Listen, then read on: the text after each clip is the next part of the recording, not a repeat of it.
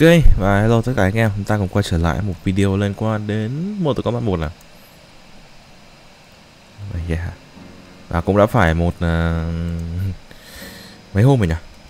Từ hôm ra mắt cái DLC này cũng là từ 24 25 đó gần tuần đấy.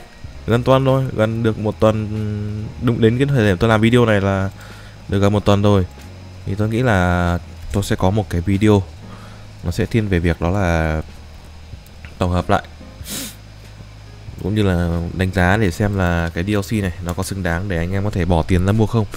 Hy vọng là ý kiến của tôi ờ, có thể giúp ích cho anh em. Và anh em đừng quên để lại một like như một subscribe họ méo cảm ơn anh em.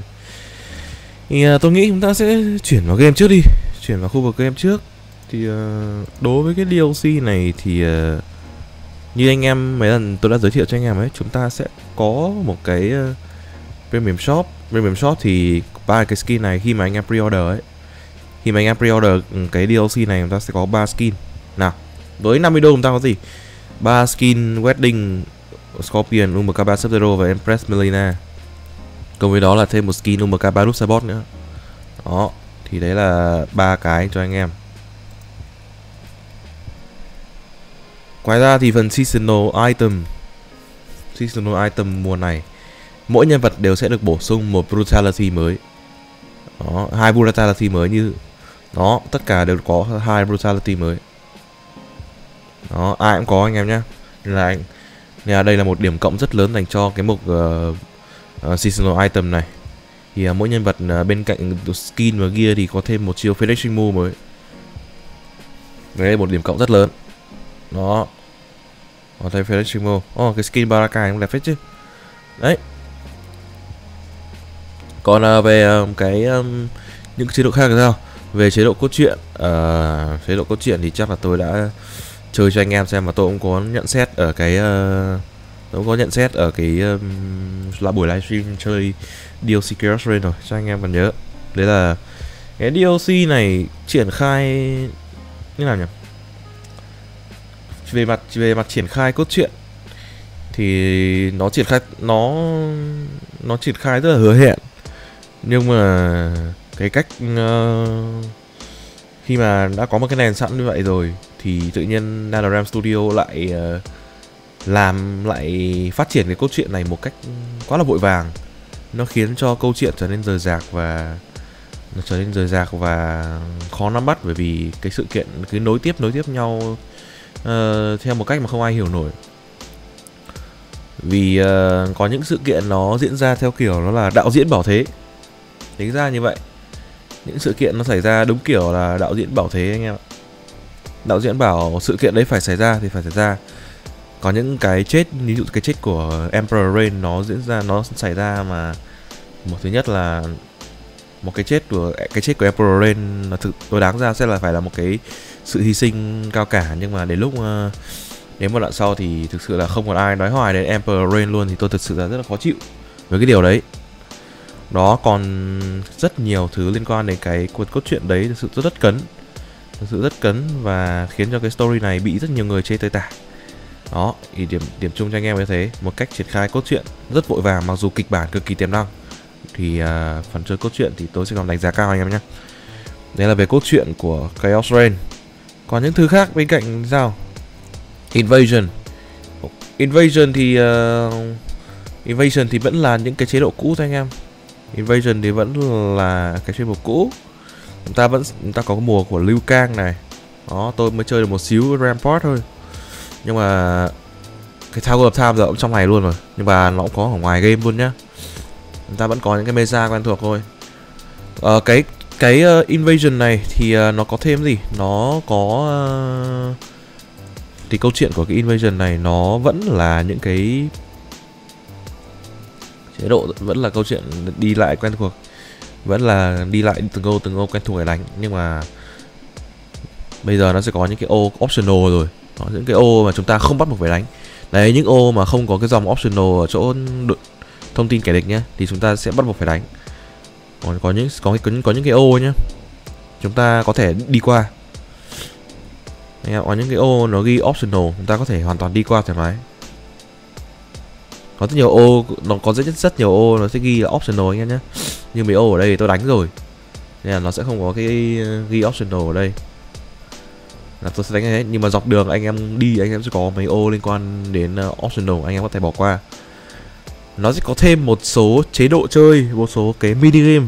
Test your mind vẫn chán như thế vẫn ờ, đập yếu, yếu như thế anh em. Test your mind vẫn yếu xìu như thế nó sẽ có thêm một số cái chế độ như kiểu bấm đúng combo như trong hình. Đấy. Và nó sẽ có thêm mấy cái challenge như kiểu à, bay qua các chướng ngại vật kiểu kiểu đấy. Thử combo bay qua các chướng ngại vật hoặc là làm bấm uh, thi xem thằng nào bấm special boost nhanh hơn. Gọi là về khoản invasion thì nó gọi là gọi là có thêm một số mini game để gọi là thêm mắm thêm muối vào cho cái à, chế độ ấy thôi. Chứ bản chất của chế độ này thực sự đối với tôi nó vẫn rất là buồn ngủ tôi thấy anh em có mấy có nhiều anh em bảo là chế độ này chế độ chế độ invasion nó sẽ nó đã khá hơn rất là nhiều rồi. Thì tôi cũng ờ, quyết định là trong buổi livestream tôi đã quyết định là tôi vào chơi lại invasion để xem mà nó có thực sự đúng như lời đồn không. Thực ra thì nó có cải thiện thật nó có thêm mắm thêm muối vào trong cái uh, invasion thật. Chúng ta có thể bỏ qua một số màn chúng ta không mong muốn đánh.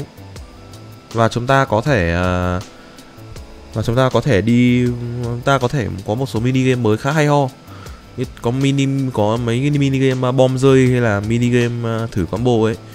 Mà mini game việc chứa ngại vật các thứ ấy nhưng mà điệu chung lại thì vẫn là câu chuyện đấy là invasion này bản chất của nó vẫn là một cái chế độ đi lại đi lại đi lại từng ô và đánh hết các màn. Nên là tôi cảm giác là nó vẫn uh, khá là chán. Nó vẫn cực kỳ dễ gây, gây buồn ngủ. Chơi một lúc là buồn ngủ đấy anh em. Nên là tôi vẫn uh, không đánh giá cao chế độ này anh em nhé. Chế độ này nó có chút điểm nhấn thêm thôi chứ về tổng thể thì nó vẫn uh, nó vẫn là một chế độ chán. Nào Tower of Time. Tower of Time có đề cập cho anh em uh, trong uh, cái mấy mấy cái uh, sneak peek mấy cái video uh, reaction uh, combat cast cũng như là cái video bản cập nhật cũng đề cập rồi. Thì cái uh, nào thì cái tháp này nó sẽ như thế nào? Cái tháp này thì tôi cũng có thử qua thực ra tôi cũng có thử qua một số rồi. Nhưng mà nó cũng sẽ cái này thì uh, nó như nó giống như cái việc uh, cái tháp là skin như cái MK11 thôi. Anh em nào đã chơi MK11 rồi thì cũng sẽ thì đây sẽ là một cái khu vực để anh em người cày kiếm skin. Đó và cũng có phần thưởng cũng có phần thưởng uh, từ cũng có từng phần thưởng ở challenge hẳn hoi anh em nhé đó. Run Crystal luôn đấy skin cùng các thứ cái top nên là tôi nghĩ là cái Tower of Time thì nó vẫn làm khá tốt cái câu chuyện đấy là cho người chơi có động lực để cày. Vẫn vẫn làm ổn. Cái gì là phần thưởng trông vẫn hơi ba chấm nhưng mà nói chung là cái phần thưởng trông vẫn hơi ba chấm nhưng mà tôi thấy là cái việc cái Tower of Time nó trở lại thì à, đây thì thì cái game này thì cái game này nó đã đỡ hơn khá là nhiều rồi. Đó cái việc cái Tower hợp Time trở lại thì uh, nó sẽ khiến cho anh em uh, chơi casual có thêm một cái khu vực có một thêm một cái ờ, chỗ bên cạnh invasion để cày. Đó. Nên là tôi nghĩ là cái Tower of Time này sẽ là một cái chế độ một cái chế độ chấp nhận được. Có cái gì đây? À tháp mới tháp mới tháp mới lên. Dùng dùng cái tháp mới lên bảo sao? Ngó mà. Có tháp mới có tháp trial anh em không biết anh em đánh chưa? Có tháp trial này. Đánh tháp trial đi anh em.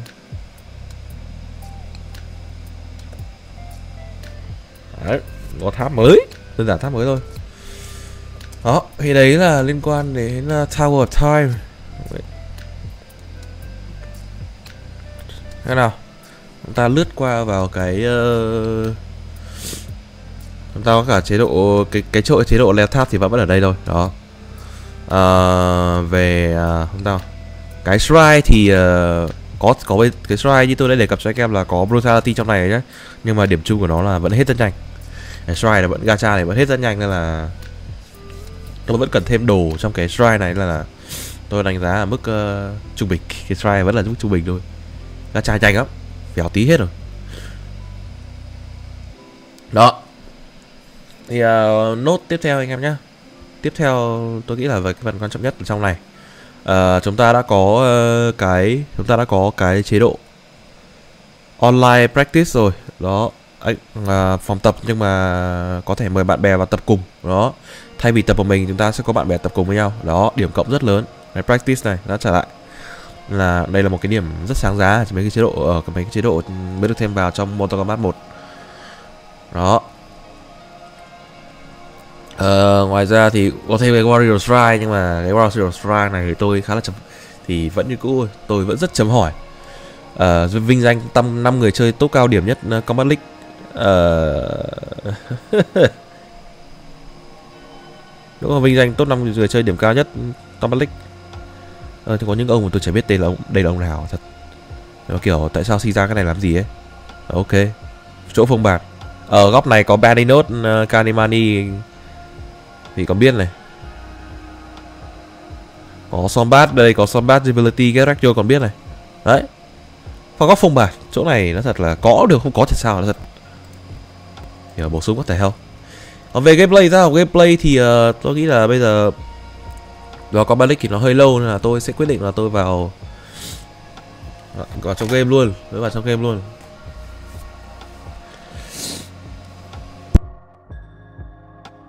Ở trong game chúng ta có test luôn cho nó cẩn thận. Thì trong game hiện tại chúng ta chúng ta có những sự bổ sung ba nhân vật mới anh em đều biết rồi.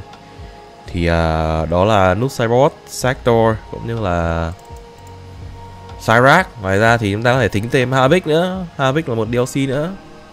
Bởi vì Havik có được bấp được bấp rất nhiều luôn. Nên là quanh quẩn cái uh, Quanh quẩn liên quan đến uh, meta hiện tại thì sẽ là Noob cyborg. Noob Cybot thì ờ, anh em có thể check những buổi live Những cái video liên quan đến Noob Cybot tôi có làm trên kênh rồi. Anh em theo dõi thường xuyên những buổi livestream và những video trên kênh Anh em sẽ biết là Noob Cybot, Noob Cybot cũng như là Sector Là hai nhân vật tôi khá là yêu thích. Sector thì uh, Sector thì là một nhân vật uh, đam combo thì không phải là thì uh, so với lượng tài nguyên phải bỏ ra ấy và lượng sát thương nhận lại được dùng uh, có thể gây lên tuần phương ấy thì uh, sector đang đam đang không hơi đuối. Bốn nhưng bù lại thì zoning của sector khá ngon. Đó một cỗ máy zoning thực sự luôn. Ờ, uh, Cyrax thì uh, khả năng ném Cyrax thì cá nhân tôi đang thấy là một con nhân vật uh, lỗi nhất cái uh, trong ba con này. Ném bom của nó cái ném bom của nó thực sự khá là lỗi. Tôi lúc đầu tôi lúc đầu tôi tôi thực sự là tôi đang nghĩ là con này ừ, có vẻ là sẽ là cái con xịt nhất trong uh, ba con nhưng mà ai ngờ bây giờ Cyrax là con nhân vật lỗi nhất trong ba con. Xin xin lỗi này là Ram đó khả năng ném bom liên tục của Cyrax đó. À, còn tôi nghĩ con Cyrax đợt tới sẽ phải nớp Noob Cyborg thì uh, là một nhân vật uh, Noob Cyborg thì là một nhân vật uh, cân gọi là cân bằng tốt. Lucebot thì là một nhân vật có độ cân bằng khá tốt Có điểm mạnh, điểm yếu rõ ràng. Combo setup các thử Combo setup và mix up của Lucebot rất ngon Nhưng mà điểm trừ là Lucebot Đòn trừ rất nhiều và đòn nhiều gáp Đòn cực kỳ nhiều gáp, đối phương cực kỳ dễ bắt bài. Dễ bắt bài uh, Lucebot Tận dụng những cái sai lầm của Những cái im yếu của Dusebot Dễ dàng luôn. Còn về mặt Havik thì sao? Havik thì đã có thêm những cái một cái overhead một cái một cái low launcher đó rất nhiều thứ. Nói chung là ờ, khi mà thêm hai chiêu thức mới vào và sửa lại những cái chiêu thức uh, mấy cái chiêu thức uh, armor của Havik thì Havik hiện tại đang đáng chơi rất là nhiều rồi. Khi mà tôi đã sang nick phụ và tôi chơi ấy, thì tôi thấy Havik rất nhiều tôi thấy Sector cũng như là lúc Cyborg rất nhiều nên là hiện tại đợt tới anh em à, vào Combat League hãy cẩn thận. Ăn đòn đấy.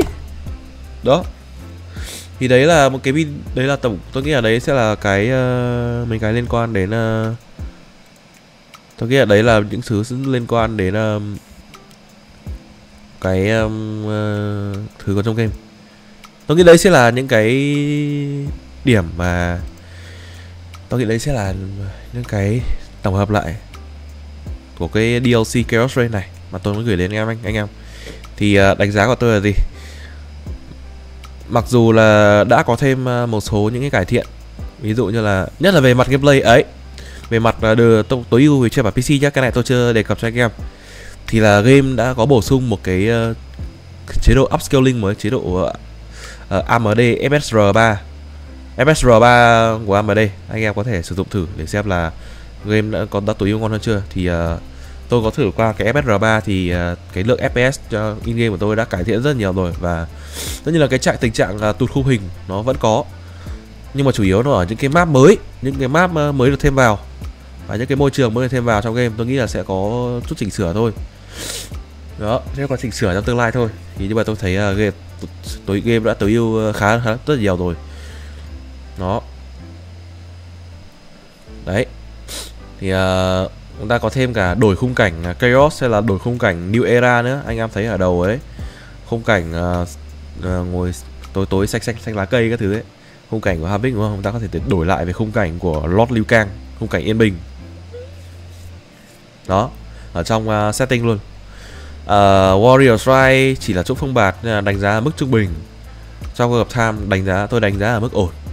Vì nó làm đúng những gì mà nó có mà nó làm đúng những gì mà nó đã từng làm được ở MK11 đó tôi đánh giá mức ổn. Invasion, thêm mắm thêm muối một chút nhưng mà vẫn là một chế độ ờ, gây chán nên là đánh giá là mức tạm được. Tạm được, tạm ổn thôi anh em. Ba nhân vật chơi, ba nhân vật tôi đánh giá ổn. Ba nhân vật DLC tôi đánh giá là mức tốt. Từ ổn đến rất đến rất tốt. Trải nghiệm chơi nên là, bởi vì hiện tại ba, tôi đang liên tục là chơi ba cái nhân vật này. Anh em ạ. Ba nhân vật ờ, mới thì tôi đang chơi liên tục. Havik thì tôi chưa thử nhưng mà Havik cũng được bấp rất nhiều rồi nên là có thể nói là mặc dù vẫn còn một số cái cần phải cải thiện. Nhưng mà NetherRealm Studio cũng thực sự đã biết lắng nghe ý kiến của người chơi rất nhiều. Đấy, dev của ờ, nhà phát triển thân thương của chúng ta đã thực sự biết lắng nghe người chơi rất nhiều. Điểm cộng điểm cộng. Nhưng mà cốt truyện chê nha cốt truyện là cực chê. Cốt truyện cực chê luôn. Nên là chốt lại là gì? Chốt lại về một vấn đề. Đấy là DLC này có đáng mua hay không? Đó một với với cái giá 50 đô và những thứ chúng ta đã nói đề cập trong video. Warriors Rise, Tower of Time, Invasion, Combat League, New Character này. Đó skin cùng các thứ. Skin này seasonal item strike các kiểu. Đó những cái thứ mới thêm vào online practice các thứ. Thì ờ, uh, là cái uh, quyết cái ý kiến của tôi về câu chuyện là cái bản cập nhật Chaos Rain này có đáng mua không thì uh, tôi xin phép trả lời cho anh em đó chính là bản cập nhật này sẽ đáng mua sẽ đáng mua được một sẽ đáng mua. Nếu như anh em uh, chịu khó đợi một thời gian đến uh, giai đoạn uh, các mùa sale autumn sale gần nhất sẽ là uh, autumn sale hay là winter sale.